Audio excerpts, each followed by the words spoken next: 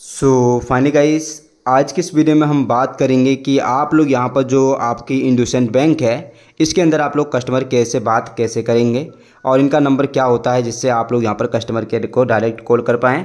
आपको इधर उधर भटकना ना पड़े। सो नमस्कार दोस्तों, मेरा नाम है आज़ाद कुशवाहा। अगर आप लोगों को भी इस तरह की प्रॉब्लम हो रही है तो इससे पिछली वीडियो में बना चुका हूँ कि अगर आप लोग अपने एयरटेल जियो वी के रिचार्ज से हो चुके हैं परेशान तो आपको क्या करना चाहिए?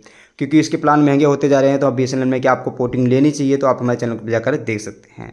तो सबसे पहले देखेंगे हम इनके नंबर की बात करते हैं। तो हमेशा की तरह मैं आपको एक इंपॉर्टेंट जानकारी देने जा रहा हूँ। तो सबसे पहले देखिए दोस्त, जो हमारा इंडोसेंट बैंक के कस्टमर केयर का नंबर है वो आपको मैं बता देता हूँ, लेकिन उससे पहले आपको यहाँ पर कुछ बातें ध्यान रखनी चाहिए।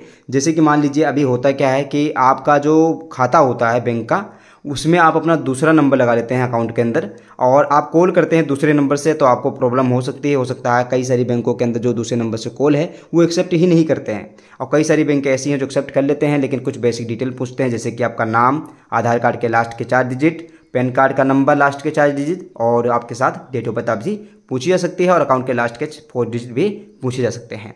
तो चलिए दोस्त, आपको बताते हैं कि आपको क्या करना चाहिए। सबसे पहले देखिए दोस्त, आपका जो यहाँ पर बैंक का नंबर है, इसके लिए देखिए आप खुद निकाल सकते हैं नंबर। गूगल पे आइए, क्योंकि हम आपके लिए डायरेक्ट ये चीज़ बताएँगे। देखिए, अब यहाँ पर सर्च करिए इंडूसेंट बैंक। ठीक है? कस्टमर केयर नंबर अगर आपको क्रेडिट कार्ड के कस्टमर केयर का नंबर चाहिए तो आपको क्रेडिट कार्ड के भी कस्टमर केयर का नंबर मिल जाएगा। और अगर आपको लोन से रिलेटेड चाहिए, वो व्हीकल के लिए तो उसका भी नंबर मिल जाएगा। अभी फ़िलहाल यहाँ पर अगर आपको उनकी जी मेल चाहिए तो जी मेल करके सर्च कर दीजिए। इससे होगा क्या कि आप लोग यहाँ पर डायरेक्ट उनसे जुड़ पाएँगे और यहाँ पर आप उनसे बात कर सकते हैं और अपनी जो प्रॉब्लम है उसका समाधान पा सकते हैं। क्योंकि जो बैंकें हैं, ये कुछ कुछ बैंकें अपने नंबर हाइड करके रखती हैं, लेकिन कुछ बैंकें हैं जो नंबर पब्लिक करके ही रखती हैं। तो दोस्त, अगर आपको हमारी ये छोटी सी वीडियो अच्छी लगी हो तो वीडियो को लाइक कर सकते हैं। चैनल पर पहली बार है सब्सक्राइब ज़रूर करिएगा। अब मिलते हैं नई वीडियो में। राधे राधे